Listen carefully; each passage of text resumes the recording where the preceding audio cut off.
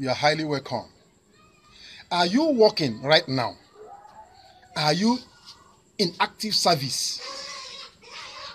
Are you earning salary right now? What I mean, are you on monthly salary or monthly allowances or on monthly commission, weekly commission, daily commission? Again, you are not on your own. You go out in the morning to sit in an office or in location, and at the end of the day or at the end of the month, you ex- expect salary from your employer. This video is for you. Please, or you are either civil servant, public servant, or private servant. Whatever we name it, this video is for you. Please make sure you watch to the end. Don't skip any track. These tips will help you to prepare for that day you will not be able to run. That year you will not be able to jump. That year you will start working with help of walking stick. You need to start preparing from now. Don't allow yourself to receive your gratuity before you start poultry. Most governments, most countries, most regions, their workers find it difficult to even get their remunerant, whatever they need, their benefit. Some of them will enter six feet before they even get their benefits. Some their children will fight. They will go to radio houses. They will complain. They will go to state houses, legislators. They will go and beg for them to get their parents' benefits. That means even the person that work for it may not even be there to get it, may not even enjoy it any longer. Yes, some may be lucky as they are finishing, as they are retiring, they pay them. But irrespective of your region, I will advise you to watch this video. Nobody knows tomorrow. It is better you start planning from now. You are expecting retirement benefit. You are expecting gratuity. You are expecting monthly income. Watch this video. Retirement marks a significant transition, often presenting the perfect opportunity to explore new ventures and hobbies. For many, starting a poultry business can be an ideal post-retirement activity. Not only does it offer a way to stay active and engage, but it also provides you financial benefits and at the same time a sense of purpose. With the right approach, poultry farming can become a rewarding and profitable endeavor that enhances your retirement years. In this particular content, I target 12 reasons why you need to start poultry to help you when retired from active services. That is the content. Now, here are 12 reasons why starting a poultry farming business can be beneficial for you now so that it will help you when you retire from active service. Someone will even ask me, where will I start from? Your backyard is there, but make sure you consider the law of your region, the law of your community, the law of the environment where you reside. Make sure you are not going contrary to the law. For you, for me, I can start from my backyard. For you, if the law doesn't permit it, please consider a change or drop it on the comment section. I will also guide you on how to go about it. One is going to help you as a supplemental income. Poultry farming can provide a steady stream of income, supplementing your retirement savings and that pension. Number two, engagement and purpose. Starting a poultry farm now before your retirement gives you a meaningful active or active opportunity for you to get acquainted with this particular industry so that you will not find it difficult at your retirement. It also gives you meaningful activity to stay engaged and maintain a sense of purpose after retiring from your primary career. Number three is health benefit. Let me tell you one thing. If you're not into poultry, you, won't understand this particular point now. Poultry gives you joy. Poultry gives you happiness. In fact, if you see how you feel enlightened, how you feel happy seeing your chickens running around, that money you are gathering small, small, small from corner to corner, that tips they give you during your working time, that's your active time, you can be putting them into chicken on daily basis. Within six to eight weeks, they will mature and you gather the money in bulk. So, and seeing these birds grow before you gives you joy. And when you are happy, all your systems in your body, I'm not a medical expert, I am an academic doctor, not a medical doctor. But I know that once you're happy, every organs in your body will be active and work well. well. Blood pressure will not be there. Stroke will not be there.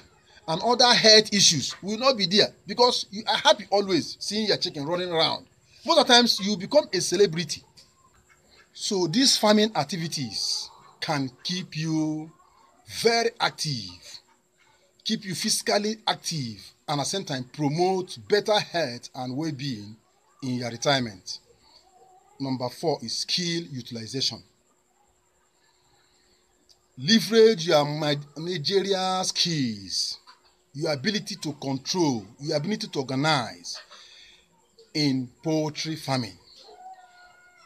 Leverage all your skills in the organizational and problem solving skills gained during all your career in your service and put them into a successful run and grow your poultry business. all these skills you have acquired during the years will help you to run the poultry while you are still active in service. Poultry doesn't take your time. Even if you have 500 birds, it doesn't take you more than 10 minutes to feed them. I'm telling you the truth.